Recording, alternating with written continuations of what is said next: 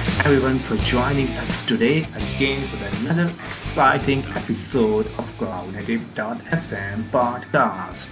This is your host, Saim Savdu, and today we are talking about chaos engineering in this episode number 26 in the CloudNative.fm podcast. What is chaos? A chaos engineering, engineering and what is litmus? So first, let me define what a litmus is. Litmus is a tool set to do cloud native chaos engineering. Litmus provide tool to orchestrate chaos on Kubernetes to help SREs find weaknesses in their deployments. SRE use Litmus to run chaos experiments initially in the staging environment and eventually in production to find bugs vulnerabilities, fixing the weaknesses leads to increased resilience of the system. Litmus take a cloud native approach to create, manage, and monitor chaos, and chaos is orchestrated using the following Kubernetes custom resource definitions or CRDs Chaos Engine, Chaos Experiments, and Chaos Result. And let's straight to our my guest. And I'm really excited for today's my guest. His name is Uma Mukkara. He's a co-founder and co-creator of co-creator of Litmus Chaos CNCF project. Let's go ahead and straight to the interview.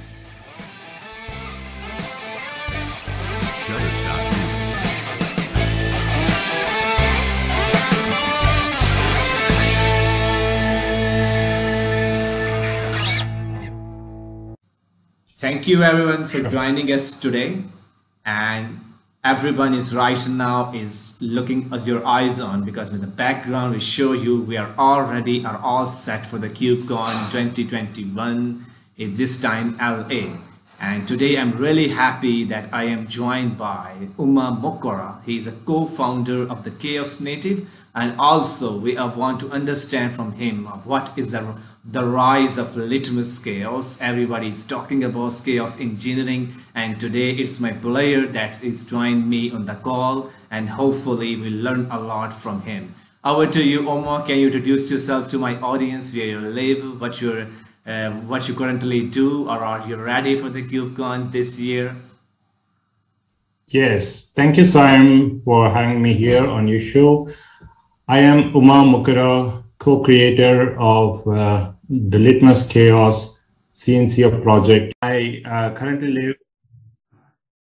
I currently uh, live in Bangalore. Uh, most of my team right now is here because of all the COVID situation. Yeah, I'm pretty excited about uh, what's happening in um, in the space uh, of chaos engineering at the moment. Uh, we really started about uh, three and a half years ago uh, when we were trying to um, chaos test some of the cloud native applications. Then uh, we realized, uh, you know, there was uh, not a great tool to do chaos engineering in cloud native way. That was really the beginning of Litmus. And uh, I'm happy to talk more about uh, Litmus, how we started, and what we're doing here uh, at the moment right now. Yes, absolutely.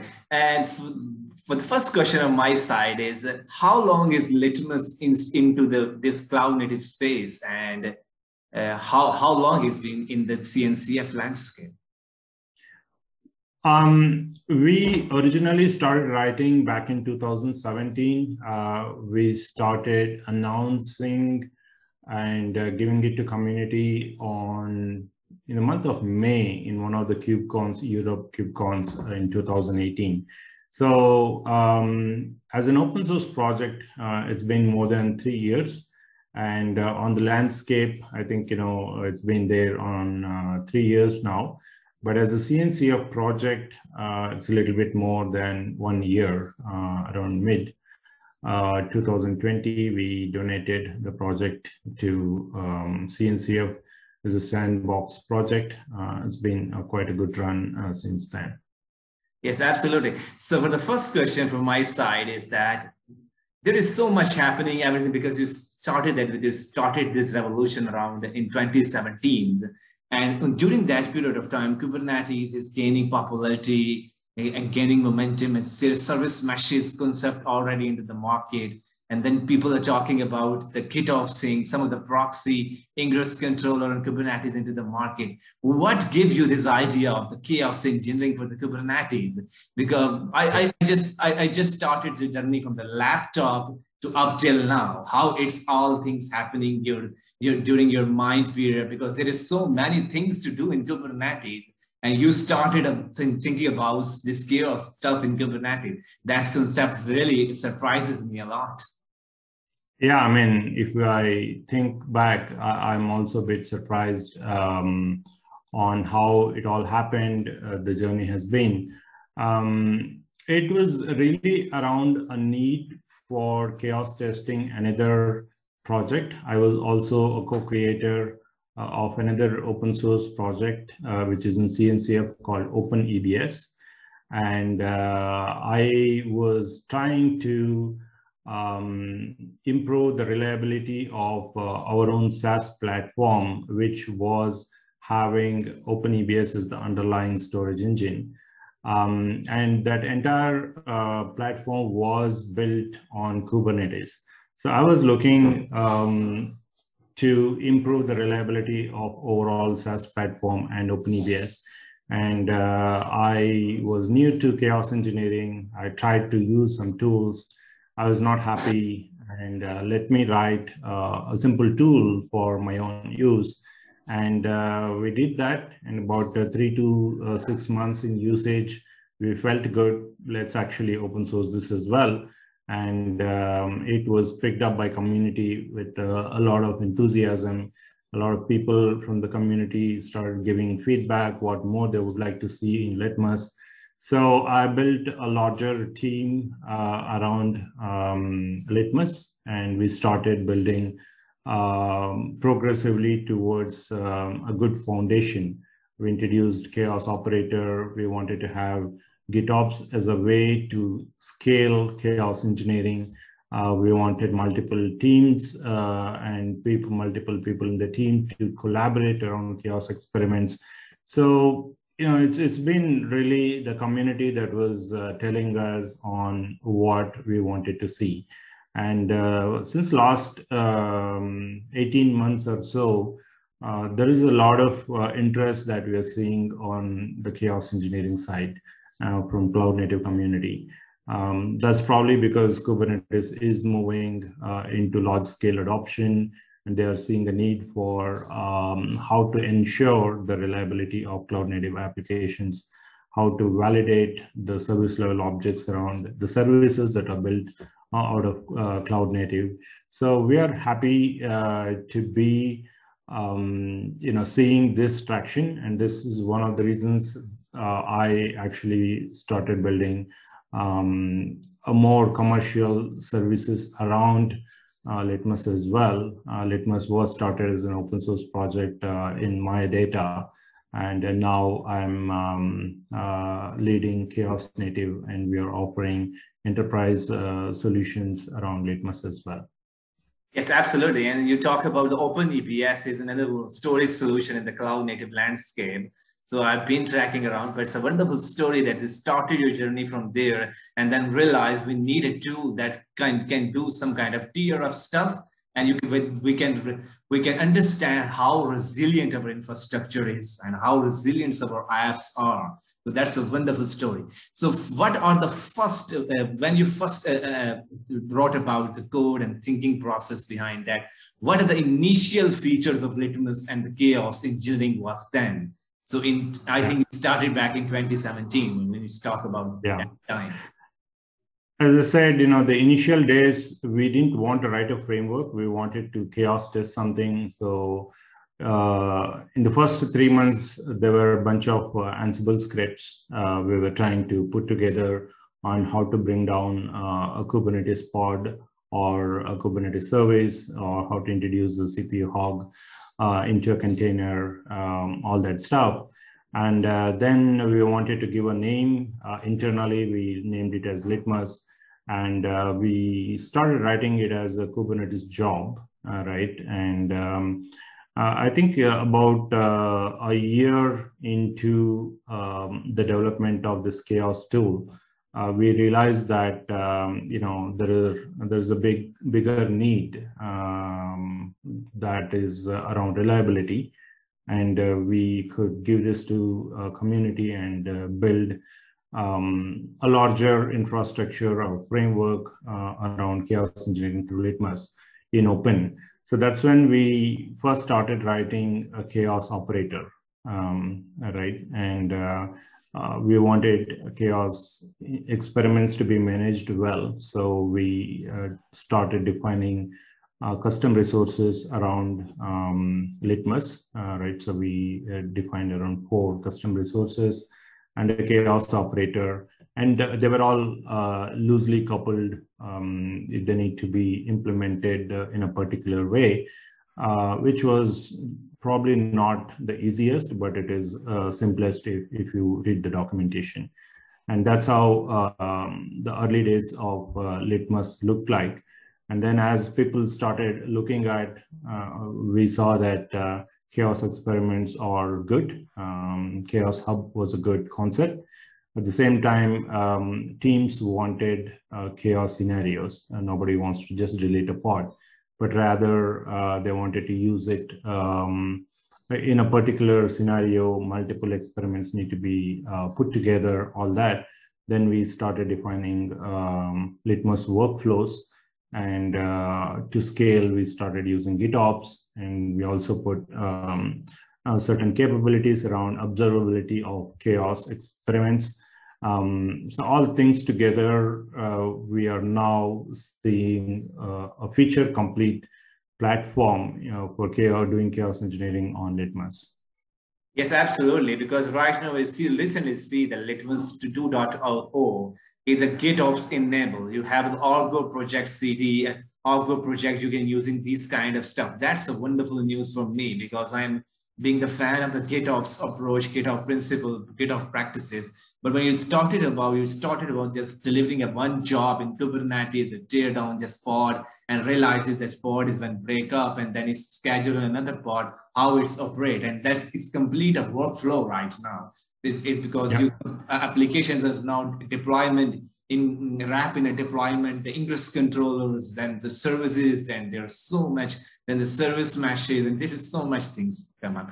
So during that in, during that period of time, and as the Litmus evolved and the first wrote operator, how much, what are the requirements you get from the audience that what we want to do this, we, we need this kind of stuff, uh, can you help me out? What are the initial requirements of the customers or the community and what they want you to do in these kind of scenarios?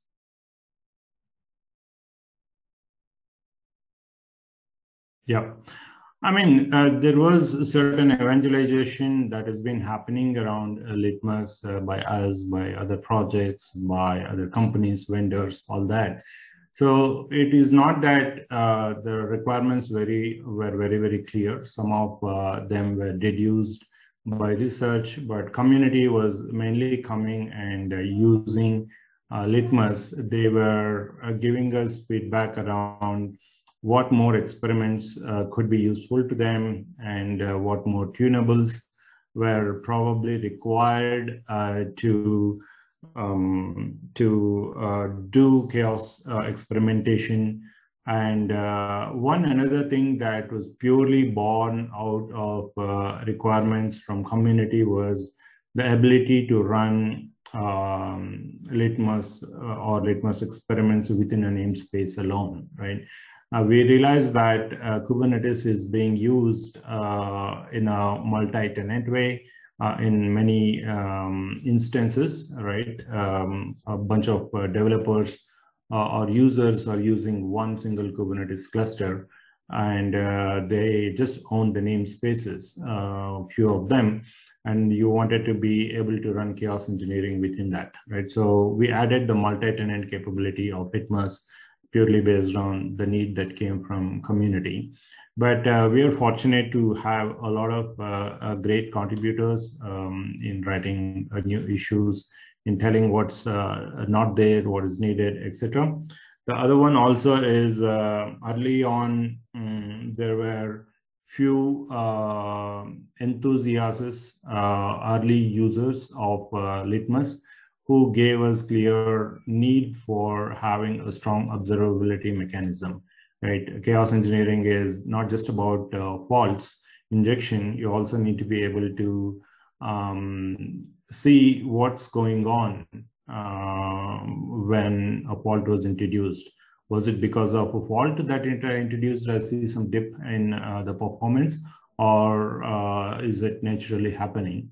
And uh, you need to be able to put in the context of chaos onto your existing observability systems.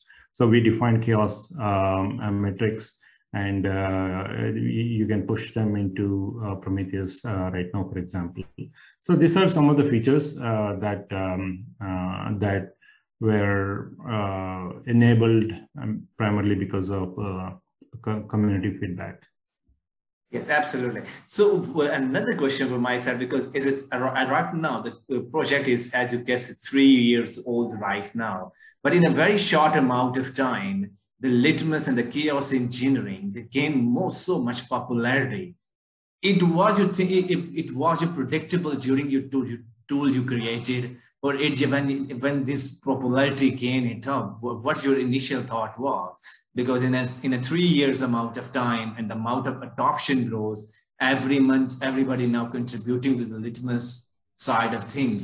So do you predict about the popularity how it's growing up in the curve or what your initial thought was after looking at the popularity of the chaos engineering right now um, certainly there was uh, some amount of uh, um, passion that uh, we created because of uh, the incoming request and uh, how chaos engineering itself is being taken.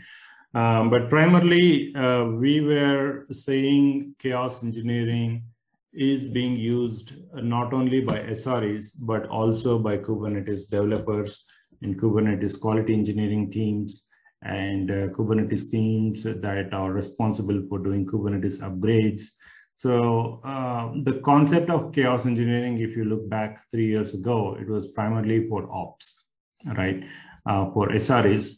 Uh, that is uh, still true. Uh, SREs need chaos engineering, but it is not just SREs that require chaos engineering in cloud native space. Developers and QA teams can use. Um, one of the reasons is in your cloud native stack, there are so many moving pieces right? And uh, these pieces are coming fast. Put together, uh, you need a way to uh, ensure there is reliability if something goes wrong somewhere, right? So you need uh, to start doing chaos engineering in uh, uh, pipelines, right? And we are seeing a more than half of the use of Litmus today is in the pipelines, right? And also in um, production, we cannot get all the metrics, uh, right? And they're all uh, within data center or private environments, or they may have disabled the call home metrics. But we're good. We are seeing good amount of um, usage uh, in pipelines, and that's one of the reasons for the popularity as well. Yes, absolutely. Because moving pieces, people are now think is not just for operators. It can scale out on the multiple pieces. Even can developer can chaos their own experiments on the pod level or the deployment level to see the application resiliency and infrastructure infrastructure resiliency as well but i'm really happy about the whole project the whole ecosystem but as as i as i, I as i learned from the cncf ecosystem that the chaos engineering like they have some kind of supply chain security and then other other mechanism like the policy engines then we have the ingress controllers and the service mesh, the GitOps. They are all originating and evolving the community. Do you see in the moving pieces, the chaos engineering itself is become an ecosystem and more and more tools are becoming the part of the litmus or the chaos native team and more and the more operators coming up into this space. What is going to be happen next uh, uh, after a few years? how you predict this chaos engineering landscape? Uh, that's a great question. Uh, my prediction is that chaos engineering is going to be a common requirement for cloud native uh, uh environment, right? So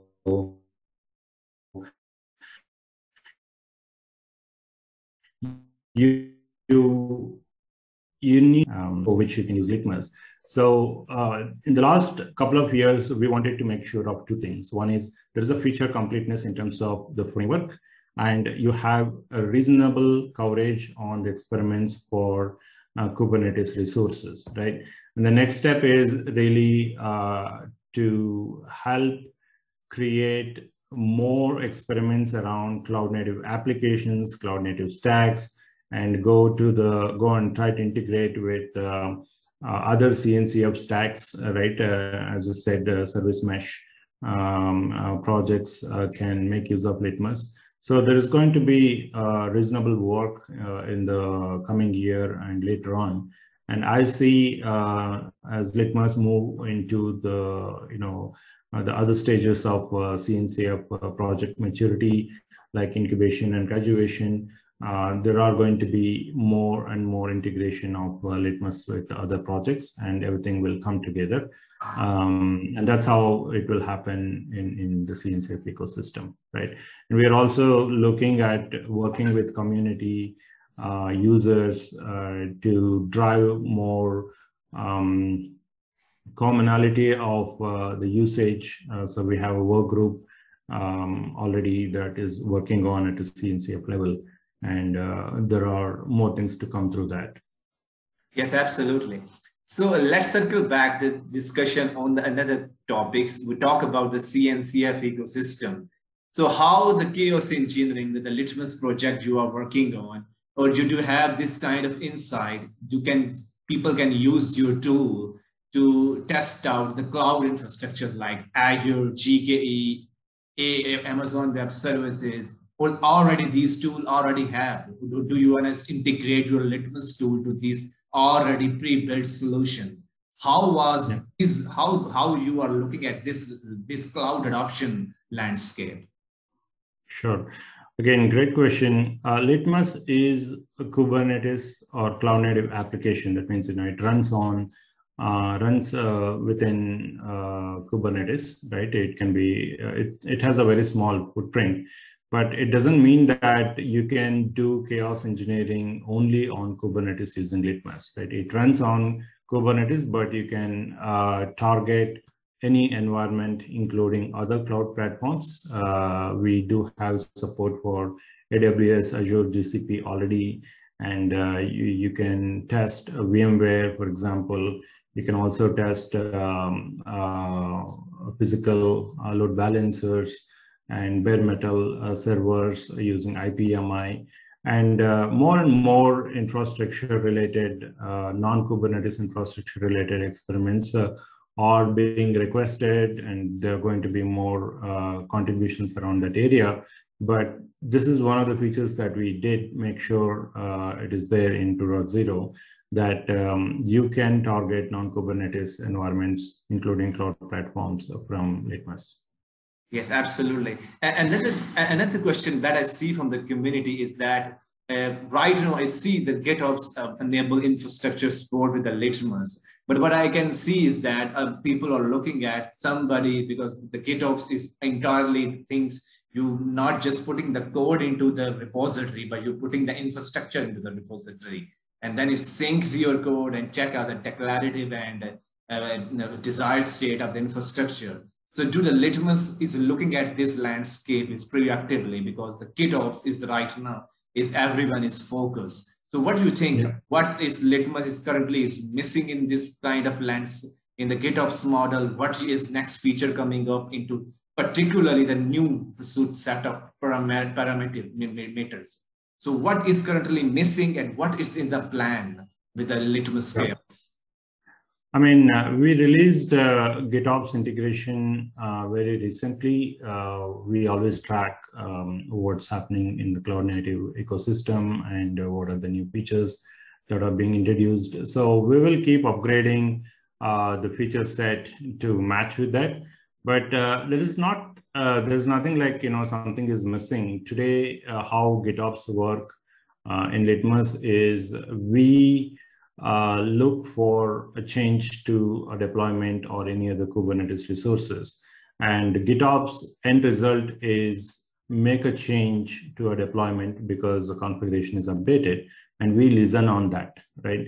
So if you make any change uh, on kubernetes uh, cluster and we are listening onto that change and then we start uh, we trigger a chaos experiment. So it's an event driven um, chaos and it works uh, well with uh, gitops uh, sorry argo cd and flux cd we have tested well and um, as long as there is a change that is delivered to your deployment and we are watching it, it runs um, the chaos experiments in an automated way. So this design will um, will remain valid for quite some time uh, unless uh, um, there is a fundamental design change in the GitOps tools, which I don't think will happen. So we are we are good, but uh, we'll keep listening to the community requests and we're also seeing um, this feature is just being taken um, by Litmus users. So we are uh, right now focused on making sure that all features of Litmus 2.0 are used. And, uh, you know, there are multiple um, feedback items that are coming in in terms of small enhancements, uh, maybe some areas, bugs.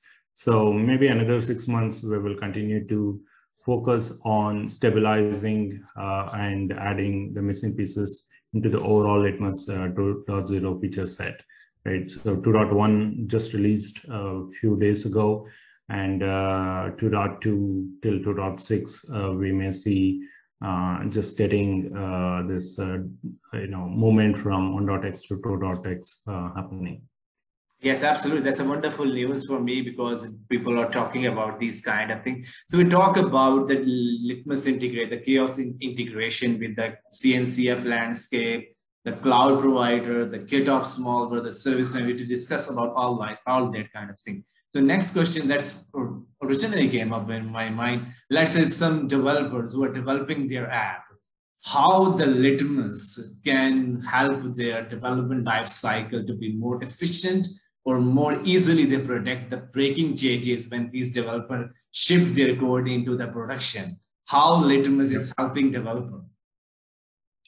Um, this is the best question, uh, you know, so far. Uh, Sam, uh, thank you for thinking through that.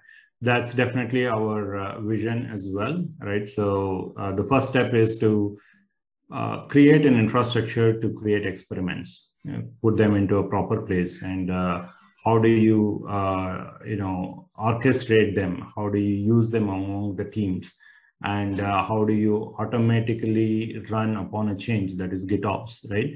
And how do you run them in pipelines? And uh, the next step uh, probably you know it's not there in our immediate roadmap as i said 2.0 uh, changes need to go in. But uh, we are having uh, as a litmus uh, project, uh, our persona is all DevOps, right? Not just SREs, right? we are right now concentrating how can you use it in QA, test beds and pipelines. And for developers, things are a bit manual right now, but we are going to have uh, more and more uh, features uh, developed around it. And on the Chaos Native side, we just launched Chaos Native Litmus Cloud, and uh, it's going to have a developer friendly uh, features uh, to to provide exactly the kind of flow that you just um, just explained right? And um, litmus users can connect to litmus cloud um, and there is a free tier there. But um, there are going to be more developer friendly tools uh, on the cloud um, and also on the open source project uh, which uh, they need to host it on the data centers. Developers generally require things on SaaS, right? Um, they're used to uh, writing an YAML file and write a script and everything gets run somewhere else. And that's the kind of experience we are looking at bringing with Litmus as well. It, it could be six months, it could be one year. Yeah. That's a wonderful. That's the best news for me because what I started my career as a developer and I want to see when my code is tested out, I want to put them in a, some in a tested environment or some kind of a sandbox environment where I test it out and tear that out and see the whole life cycle is happening there. So that's a wonderful approach. So I believe Litmus is taking every step. They, taking as the angle of the DevOps, the SREs, and the CNCF ecosystem, the cloud adoption of the AWS, GC, GKE, VMware, to everyone looking at. That's a very wonderful, wonderful news for me. So now the personal question for you before we, we'll wrap up the discussion. So how you started your career in the IT, how long been you to the IT? Can you tell us to my audience about your own personal experience of being in the IT, how to transition your career from the different phases? Yeah, I mean, I started my career after I finished my engineering as a developer, I think about 24 years ago, right?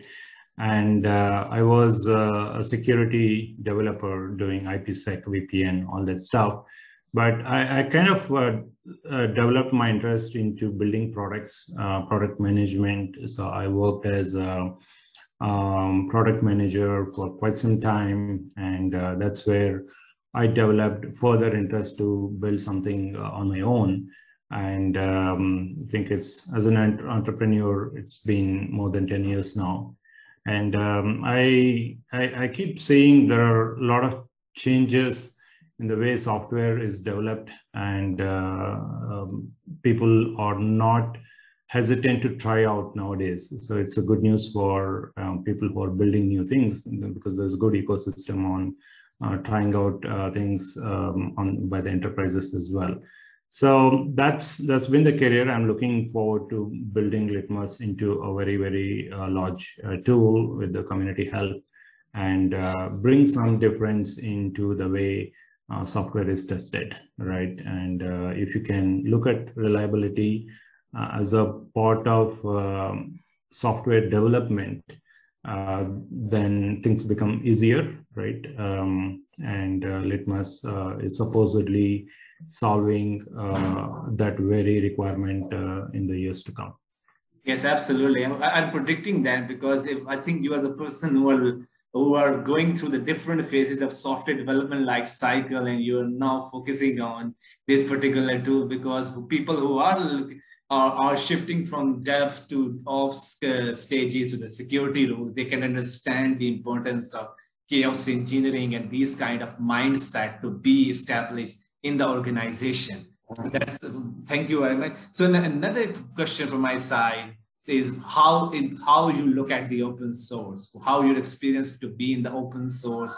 What, what do you think? What's make it what what's it make it difficult and what's make it better what's your opinion to be on the open source? Um, I myself started uh, coming into open source uh, completely about six years ago. So I was um, a bit afraid, skeptical. Can I really do it?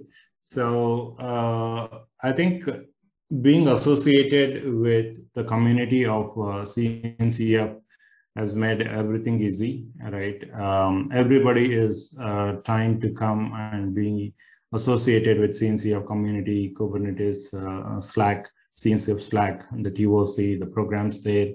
Um, so there's a good understanding uh, among users all around the world now that, uh, you know, in the technology space, CNCF um, ecosystem is the right thing to do.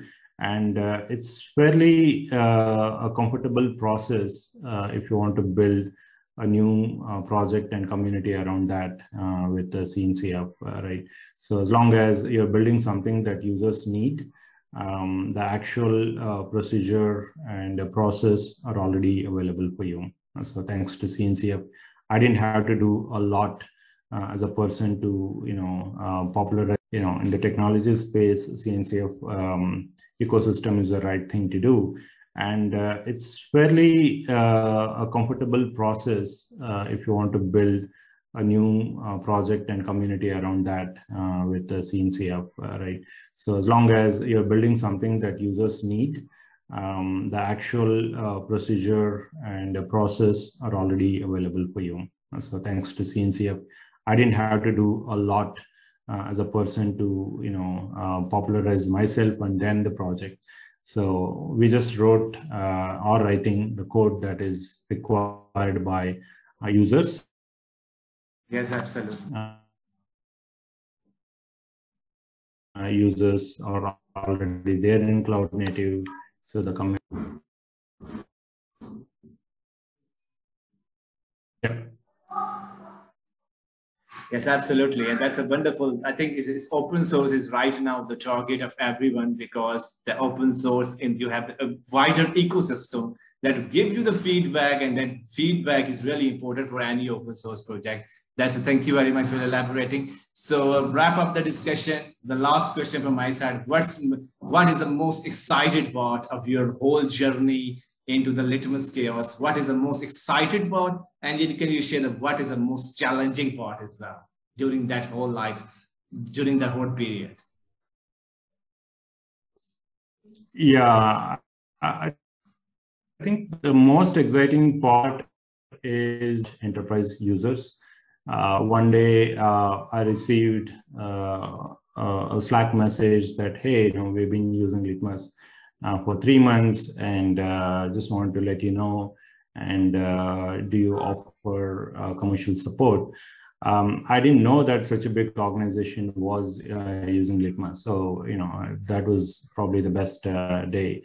Um, most challenging you know i'm still trying to figure out how can i read the minds of people who are using litmus within uh, the private data centers, right? So if they come to um, our uh, community, then we are learning. But uh, otherwise, uh, there is no easy way uh, to know how Litmus is being used or what are the needs. Um, so we are we are thinking about some ways of building cloud native um, chaos engineering communities so that you know uh, you you can welcome them. They can share their success stories or uh, you know issues. So that's just the beginning. Uh, we started building that community recently but that's still a challenge. Uh, we'll see how it goes. Yes absolutely. Thank you very much uma. It's been a wonderful talking to you. I learned you started this uh, chaos stuff from the OpenEBS and then you started thinking about that this is now, now not just a need for one project, but it's a need for the millions other projects, the CNCF ecosystem and the cloud levels and the, the development level to the SREs team, to the DevOps team, and the team who are take care of very seriously how the infrastructure are resilient or not. But it's a wonderful talking to you, learn so many great amount of information about, and it's been a, a great appreciation for your project it's been a very popular right now, vibrant community. People are talking about everyday chaos engineering. People are appreciated your project. That's the wonderful things I think every open source project gets is, is from the appreciation from the wider ecosystem, the vibrant, vibrant community. So thank you very much, Uma. Hope to talk to you again, Mike, on the OpenEBS side, how you started there, because OpenEBS is a, is a project where I have next eyes on. But today I learned a wonderful information from you. And thumbs up for your project, thumbs up for your next coming up features on the Litmus.